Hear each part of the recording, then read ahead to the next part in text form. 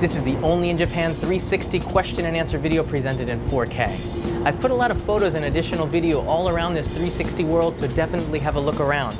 If you have Google Cardboard or a virtual reality headset, use them. If not, you can use your browser or your app and look around the world. Just make sure they've been updated.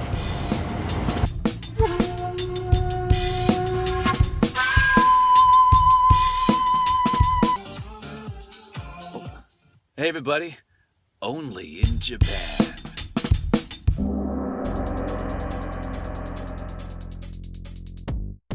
This is Nihonbashi, which many consider to be the center of Tokyo. It's a hub for many traditional businesses that have been operating here for centuries. A lot of international company offices and startups are located here too.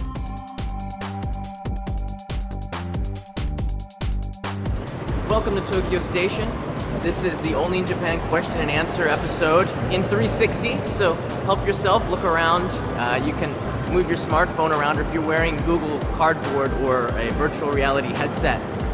Welcome to Brave New World, bold, big, and beautiful. So this is Tokyo Station where you pick up the Shinkansen and the new Nihonbashi entrance, which is pretty cool.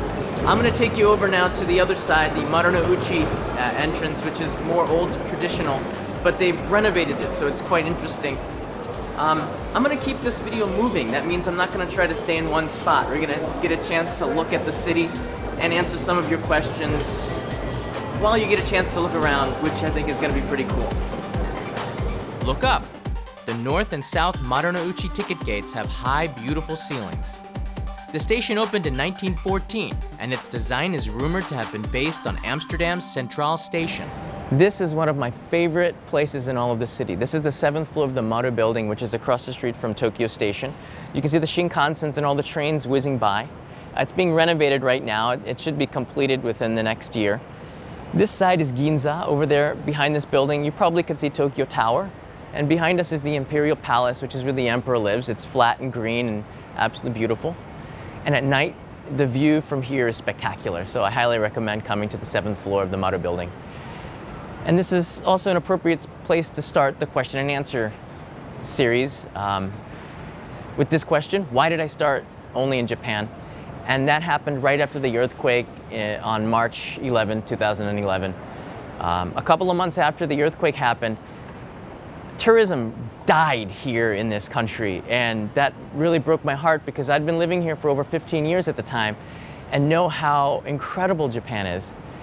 Uh, I just wanted to take what I was doing. I was already reporting on an international station here to take that to another level because YouTube as a platform allows me the freedom to do whatever I want, um, to go anywhere, to see anything. And that's really exciting to me and I wanted to do that.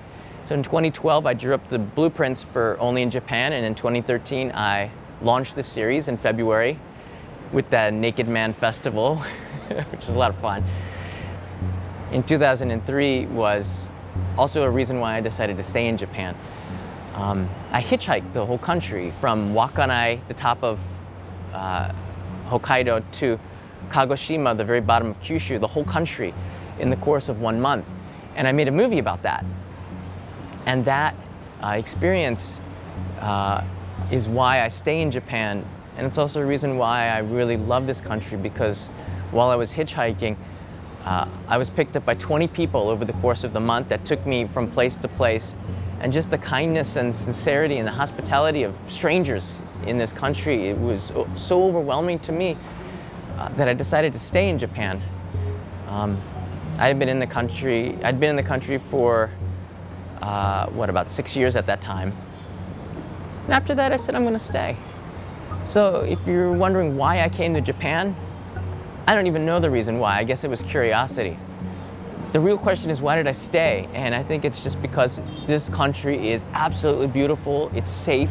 The food is delicious. I love being a foreigner, being an expat. People look at you different. It's sort of exciting in that way. And I feel that the best way I could help my own country is to bridge Japan with the rest of the world, not just America, but uh, other countries in Asia, and to tell the story of Japan, to tell you what's happening in this country. And I really love that.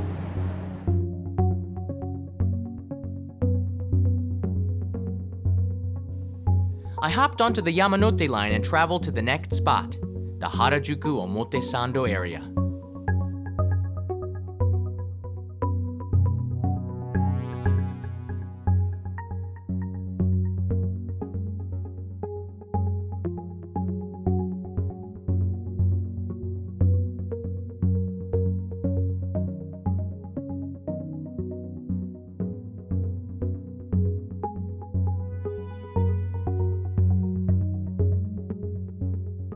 This way, this way, over here. So I've had a little bit of trouble asking myself these questions, so I've enlisted the help of my friend. We walked in search of a quiet place to do an interview. The trip took us down Harajuku's Takeshita Dori, where I learned a little bit about fashion in a previous episode.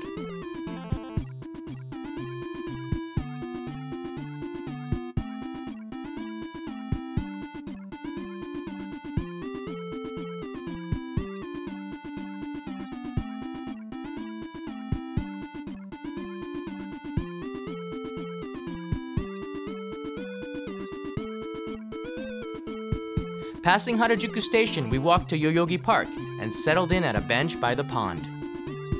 Question and answer in the park.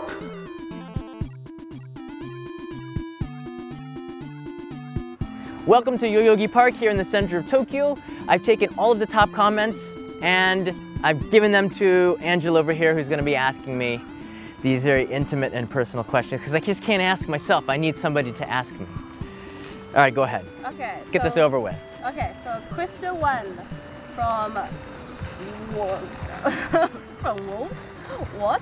What Walker? Oh, Wyatt Wyatt. Wyatt. Wyatt Walker. Why do you like Japan so much?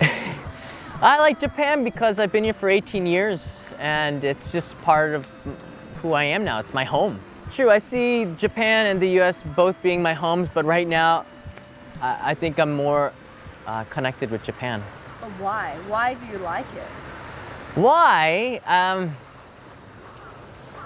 it's so easy to live here. It's so much fun. It's so interesting every day.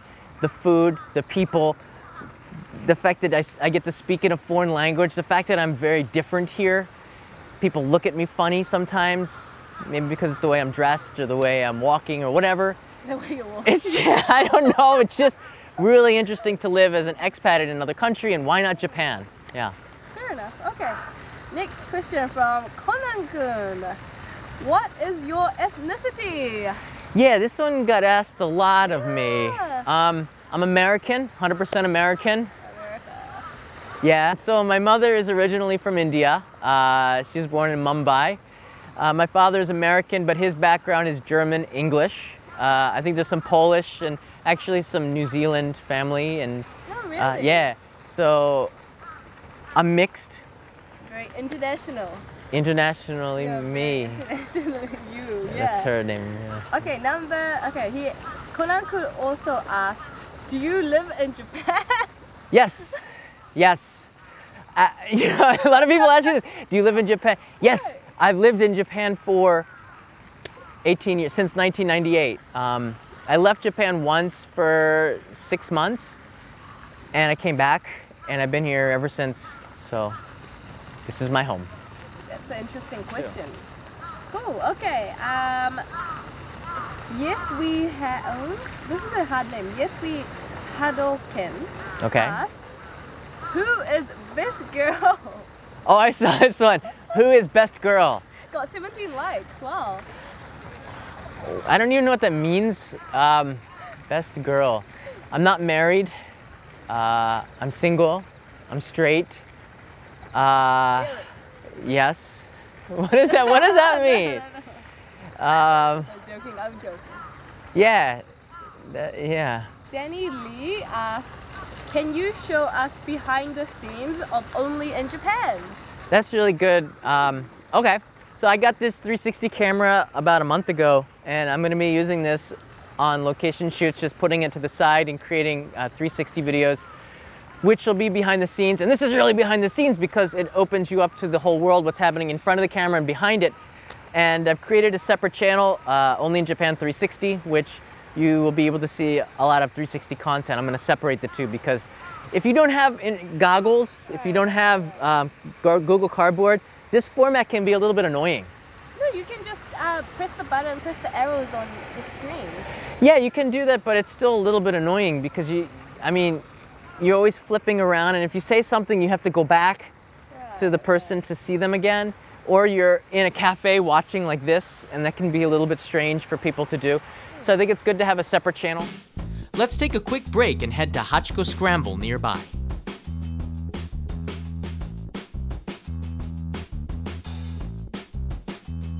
Here are the top episodes in terms of views on the channel. Thank you all for making these shows popular.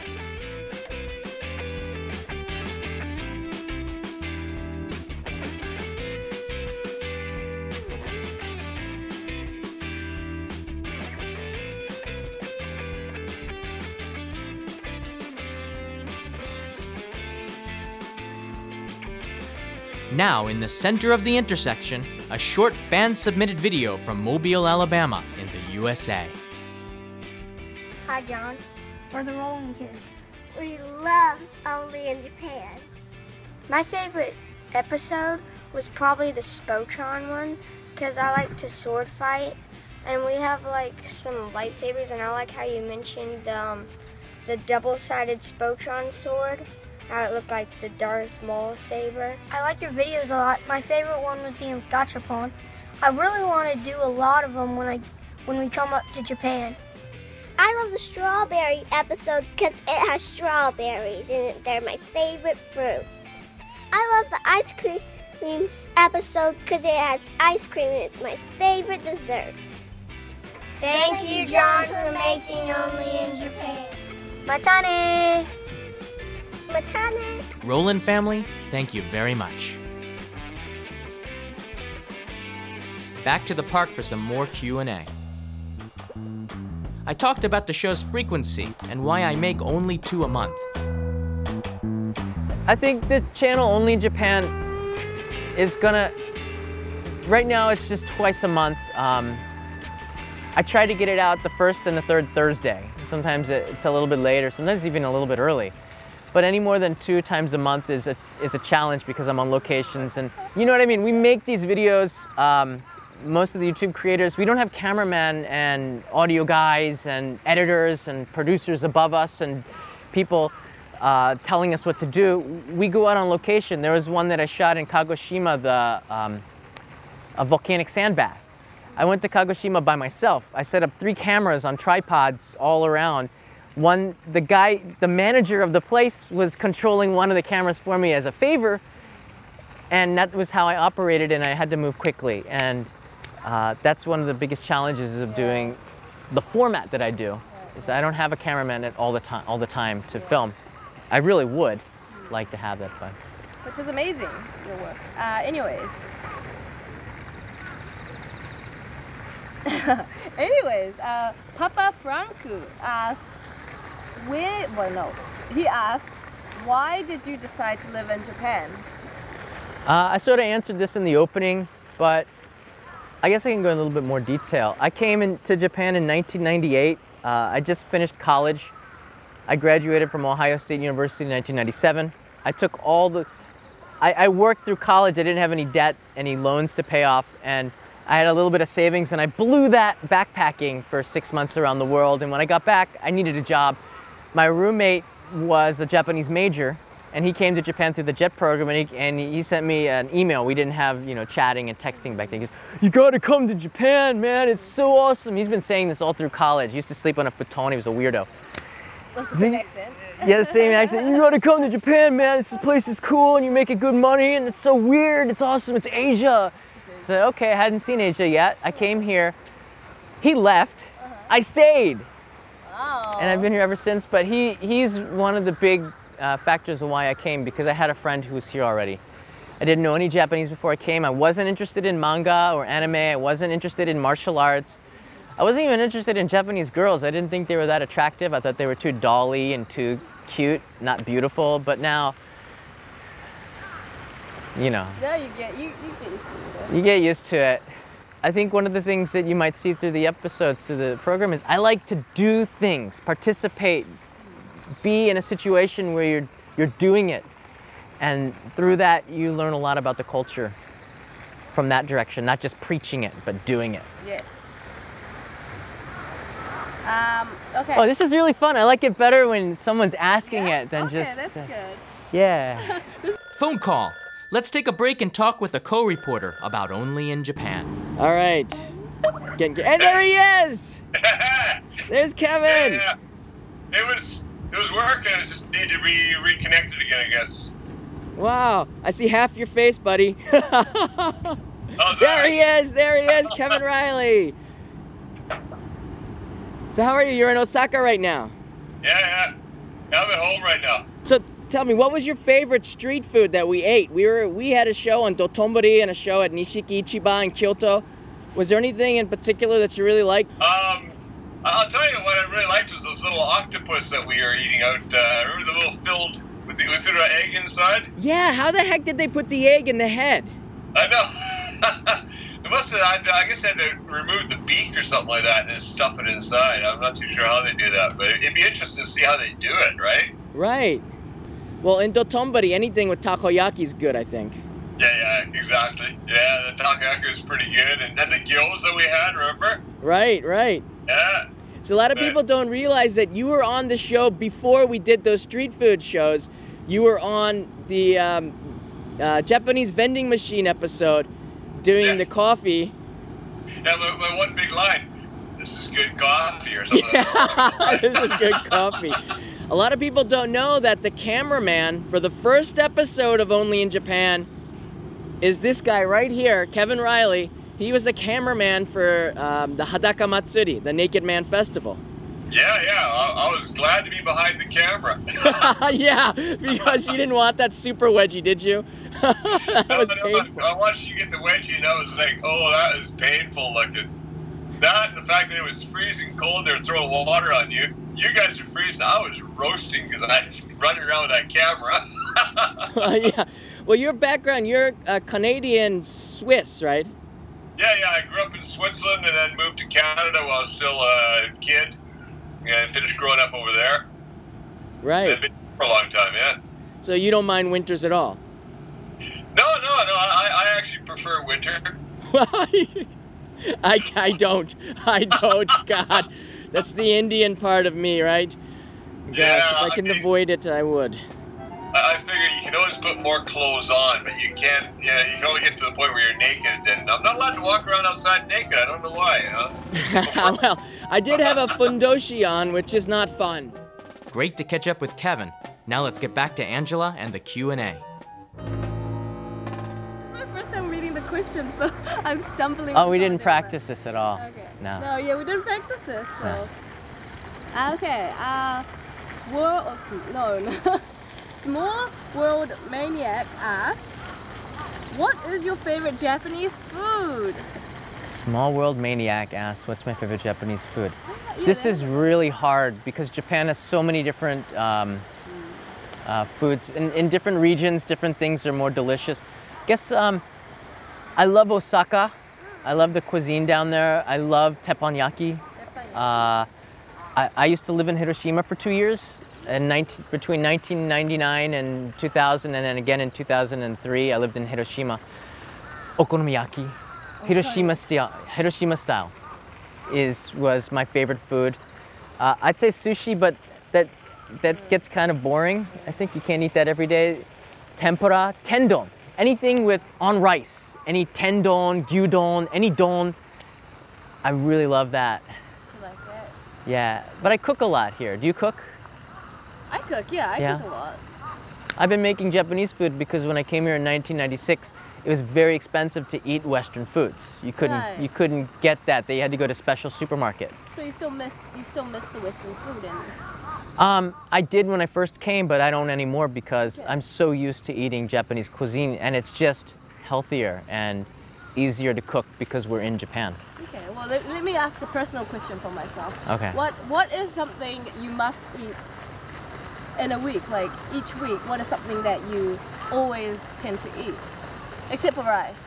Uh, yeah, rice is base. Um, edamame. I love edamame, especially in the summer. Um, I love Japanese beef here, the meat.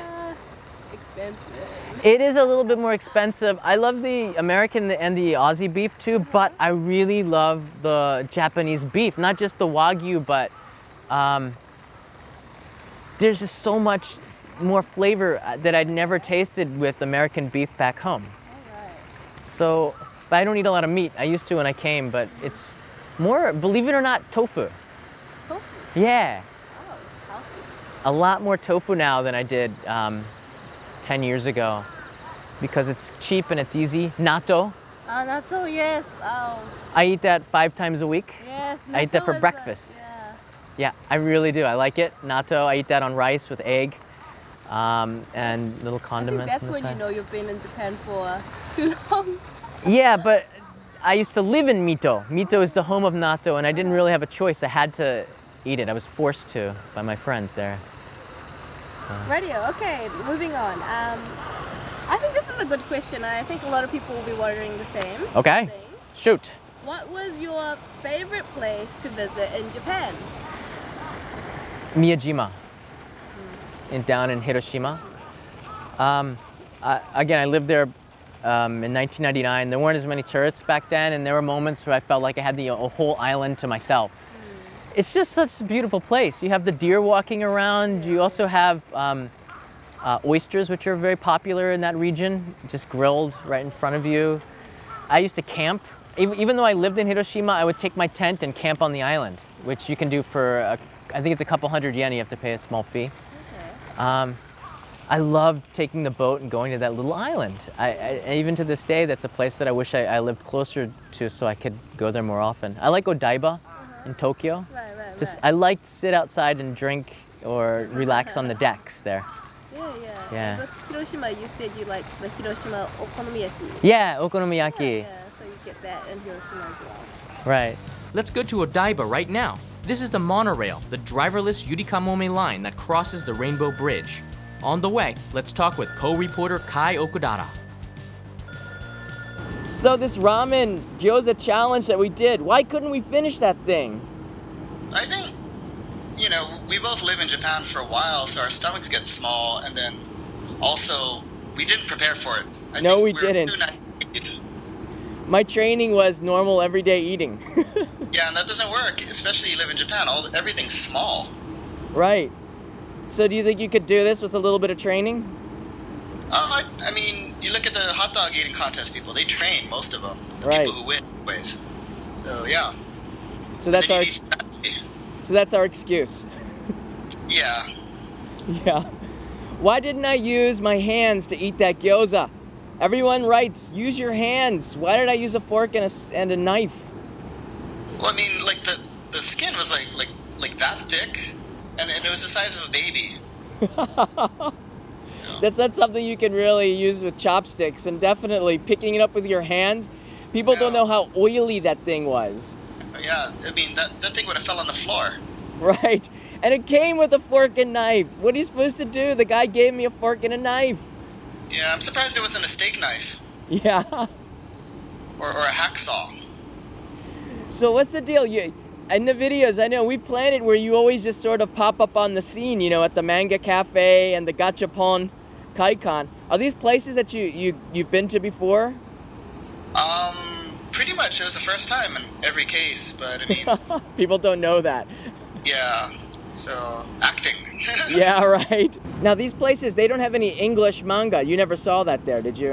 No, I didn't see that. No. Neither have I. So that answers a lot of questions. People have been asking, are there any English manga at these manga kissa? And the answer is usually no. I mean, when most of the people who go there are Japanese, Yeah. like it just doesn't make sense for them to have English manga just sit there and like collect dust. Right. But, I mean, that could be a business opportunity, but we need we need more like foreign otaku. Right. Come to Japan. Yeah, come on. More foreign otaku that come and, st- and stay at the ki- manga kissa, I bet you the more English manga they're gonna put out there. Yeah. All right, well, thanks for taking the time, Kai, and, and looking Okay. forward to having you on the show again soon. Yeah, yeah. I mean, let me know you come up with something crazy and interesting. You know, it, not not ruling it out. Oh, we will. we will. Okay. Thanks, buddy. All right. See ya. All right, bye bye. Great to see Kai again. We've almost reached Odaiba. Let's have a look at this Tokyo man made city center beach.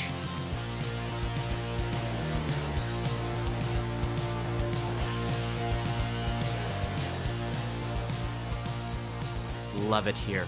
A perfect place to watch the sunset.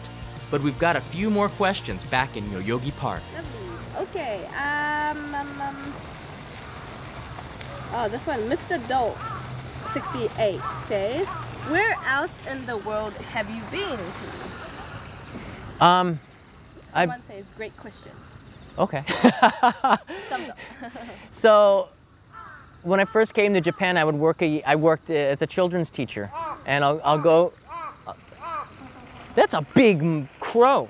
they have a lot of these in Japan. We have a lot of them in this park. When I came to Japan, I used to work as. Oh, God, A, it's like yeah, it's gonna jump on you. It's gonna jump on you. So I, I used to work as a children's teacher, and I would finish the contract. I would take the bonus and save up the money, and I would backpack for six to nine months. And I had a free um, invitation, open invitation return at any time, which I did three times. Over the course of the time I graduated college to 2004, I traveled to 70 countries. Wow. Yeah, I, I blew all of my savings and money during those between 1997 and 2004. I had no savings and no debt, and I just traveled and I spent all that money. I would earn it and then blow it, discovering things, uh, doing things.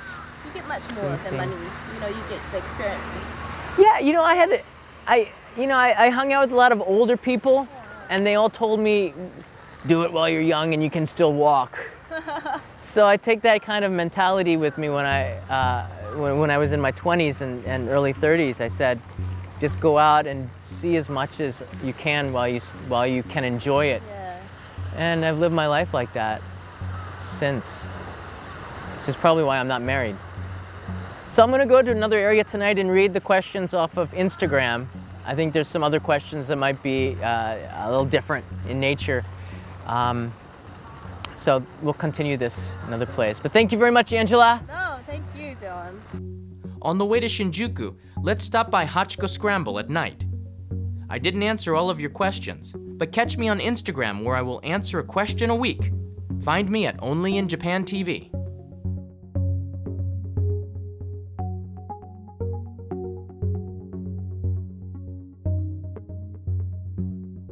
So this is the Kabuki Kabukicho side of Shinjuku Station, and let's go take a look over there. It's been quite a long day. This is one of my favorite spots because, unlike Hachiko, where you have a lot of neon lights in one area, this place is filled with them beyond what Shibuya could ever be. You can see they go up sometimes uh, 10 stories. Well, more like six or seven, but it seems like even more than that. So I'm pretty tired, so let's go to a spot deep in Kabukicho to do the rest of the uh, Q&A. Kabukicho was made famous in the movie Lost in Translation. It's also where the infamous robot restaurant is, and if you look up, Godzilla.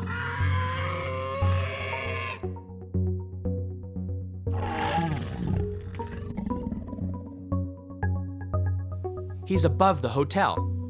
Did you find him? The Capsule Hotel in our series is also just 100 meters away. It's a lively place that you can't miss on a Friday night. Kabukicho. Okay. Here's a question from Ma Owl Sunshine. Thank you very much. She doesn't write where she's from, but it says, "Hi, I'm. I was wondering, what do you do when you're not filming a new video? Any interests or hobbies? My sister and I love your videos. Thank you. Um, my hobbies are cooking, uh, running, and scuba diving. I love scuba diving. Uh, I have a dive master's license, so whenever I get a chance to work and take people on tours, especially in Koh Tao, studied at a school there, that's a big passion of mine because there's a whole world underneath the sea, which I haven't even shown you here in Japan. I got to do an episode in Okinawa and some of the uh, islands away from there. And also, I like traveling around this country. I like visiting new places. I love meeting new people.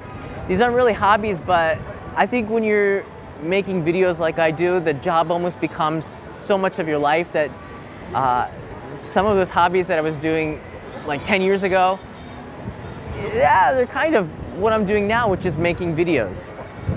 Thank you. Uh, Sophia Ortiz 012. Hello, John from Texas.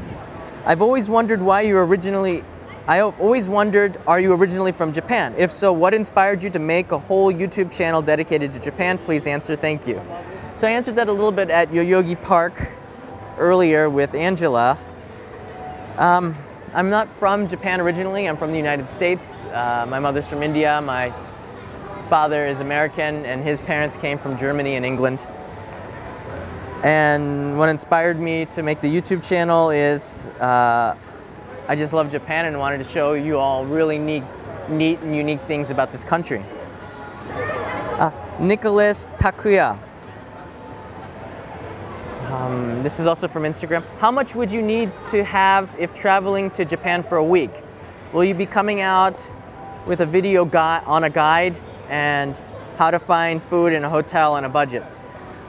I work with a with a website called tokyocheapo.com and I really recommend that you go take a look because if you're a budget traveler and you think that Tokyo is really expensive, tokyocheapo.com's got so many articles on how to save money.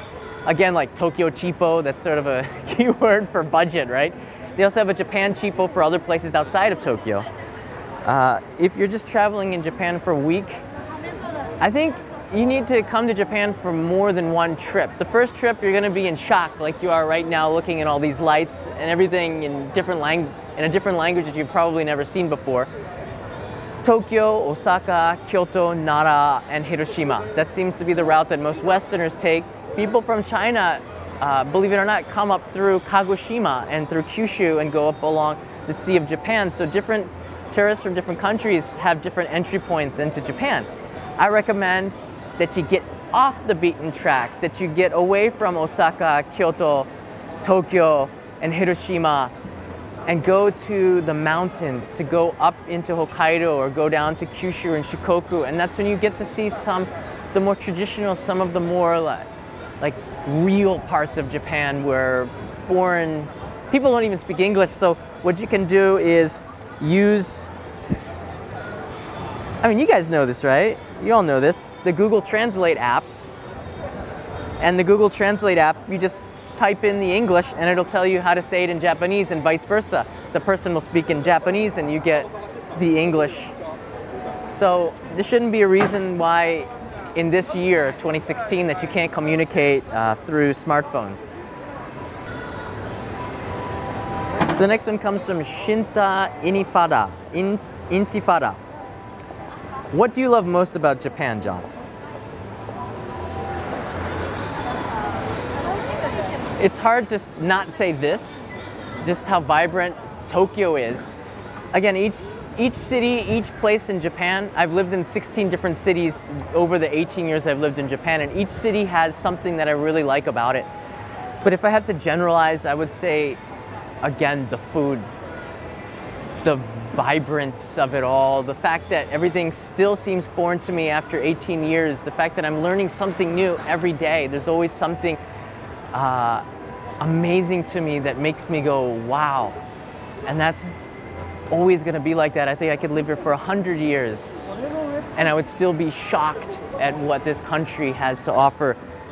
But, you know, food is on the top of that list. Uh, Beauty Bellucci, lots of love from Germany. See here, Tokyo Senpai 13. I'm planning to go to Japan one day. Any tips in learning Japanese? I think I answered that one. Thank you very much. Um, ah, this is kind of an interesting one. Sen4. Sen4 writes that he loves the show. And when did you first move to Japan? 1998. Is it a permanent move? Probably. Probably. I, I've been taking it year by year, but it seems like I'm not going anywhere. Just gonna stay here for as long as I can. And is it a possibility to follow in your footsteps? Sure. Um, this country has changed so much when I first came. I can, I can I could see where it's going by 2020, but after that, I'm not sure what direction Japan's going to take. I think they need more foreigners coming to live here because the birth rate has been decreasing. So I think it's a great possibility for you to, for everybody to come and live in Japan. Learning the language would be a definite plus if you wanted to do that. A request uh, show on coffee culture in Japan. That's interesting. Uh, I go to a lot of business meetings here in Japan, and one of the things that they used to give me uh, 10 years ago was tea. In fact, I still get tea in business meetings, but more and more they give coffee because Japan is a tea culture. So coffee is seen as something that's really special. It's something that has more value to people because tea is something that you drink at home. Outside of your house, people drink a lot of coffee. More than more and more. When I first came to Japan, there wasn't there was one Starbucks that had just opened in Ginza, just one in the country, and now it's hard for you to walk around and not see a Starbucks or a coffee shop. 18 years ago when I first came, coffee shops were limited to kissaten, these really old places that had been operating since the 1950s, or McDonald's. And now you have so many options. Ah, Merlina223 writes, what is the weirdest food that you have eaten? you know, nothing's really weird anymore. Um, when I first came to Japan, natto was weird in 1999. Um, fermented soybeans, sticky, smelly. No, I kind of like them. Um, basashi was, is still kind of weird. That's raw horse. Uh, it's very famous in Kumamoto. Um, but I'm kind of used to eating that. Raw food in general, uh, having raw egg on rice. Kind of weird, but the eggs here are safe because apparently the supply chain is fresh. I've never gotten sick off of raw eggs. I'm sure there's some weird stuff that I've eaten that just don't come to mind, but it's hard to shock me uh, these days. if, if you have eaten something shocking, write in the comments below it. I will go try it out and let you know if it's uh, crazy to me. Was I, was I born in Japan? No, I was not. I was born in the United States. Ah, uh, again with food. Danais, Danaisa Bag. Danaisa Bag writes, Hello from California. This is Dana. Dana. I love your videos. Thank you. Um, yeah, that food challenge was really tough. That gyoza food challenge where my shirt was all sweaty and I was all oily because it's August and it's like a sauna. You can't help but being sweaty. And yeah, for all of you who made comments that I should have used a, just picked it up with my hands, I agree with you. But they gave me a fork and a knife. I wasn't really thinking about it. I just wanted to eat as much as I could. But the question Donna asks is, um, what other what foods are there that are only available in Japan that are worth traveling there for? Awesome question. Sushi, because I've been to so many countries around the world and have never gotten an authentic sushi experience like the sushi here in Japan. I don't know if it has anything to do with the fact that Tsukiji is where a lot of the fish is sold, but um, it tastes a lot better here. Stuff that's simple like that. Um, Tempura, for example, maybe it's the oil that they use here is different than abroad. Tempura is really good. Um, everything. There's Yoshinoya in New York City. They have about three items. There's a beef bowl, a vegetable bowl, and I think the teriyaki chicken bowl. Go to the Yoshinoya here and you're gonna find like 50 things on the menu and they're always seasonal and changing. So just simple foods, any Japanese foods, it's a reason to come to Japan to try, and you won't be sorry. I, I have not eaten too many bad foods here. So thank you all very much for watching this question and answer video. I hope I answered most of your questions. If not, you can go to Instagram and ask me a question there. I'll be uh, answering questions once a week via Instagram. So please check that out and follow me there. I want to also thank WAO Corporation and WAO TV for their support since this show started in 2013. Uh, I'm a part of this uh, fantastic network. They make two other shows that are really great called Ask Japanese and Kawaii Patin. If you're into fashion and questions about Japan, those are some really great places to go. And I want to thank everybody else who's been um, a part of this show, all my friends and all of the other contributors that have made Only in Japan such a fantastic show, and you, the viewers, over the last three years. I love you. Thank you, and see you on the next Only in Japan episode. Maybe in 360. I want to also thank everyone who has contributed subtitles in many different languages to the channel. Thank you. I received more questions that I could answer in this video, and if I didn't get to yours, I'll try to respond via YouTube or Instagram as soon as I can. It really makes me happy when I read your comments, saying you're the first one to write, or telling me that you've loved or even disliked a video. This series is for you, and hearing back from you is what makes this channel so popular. I can't thank you enough for watching, commenting, sharing, and subscribing. I'll keep trying to make the highest quality of video with an interesting story so you can learn on our adventures. Next episode is coming up shortly, so see you again soon on an adventure that is certainly only in Japan.